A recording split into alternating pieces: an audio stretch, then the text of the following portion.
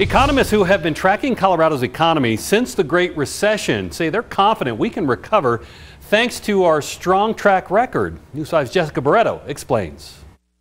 Good morning, everyone. Well, what's happening with our economy right now is unprecedented in that it's widespread and long term. But the silver lining here is the expert I spoke with believes we'll bounce back quicker from this than we did from the Great Recession of 07, and that took five years. That's because our economy was already strong going into this. Brian Lewandowski with the Business Research Division at CU Boulder says post-recession, our economy was the third strongest nationwide and kept growing from there. Even though industries forced to shut down are struggling, they could recover once they reopen, but that depends on us. Are people a little skittish about uh, agglomerating in large groups? So think about concert venues where you are right next to these strangers is there a hesitancy to go back to that same behavior? Congress also doing its part to help as it works on a stimulus package to help small businesses with emergency loans that could be forgiven later on. So what makes Colorado's economy so strong?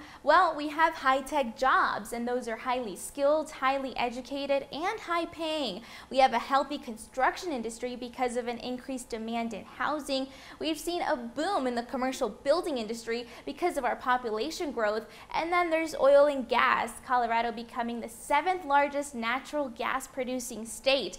Now, right now, experts can't really seem to agree as to when we'll fully recover from this, but they hope to know more in the coming months. Always watching out for you, Southern Colorado, Jessica Barreto, News 5.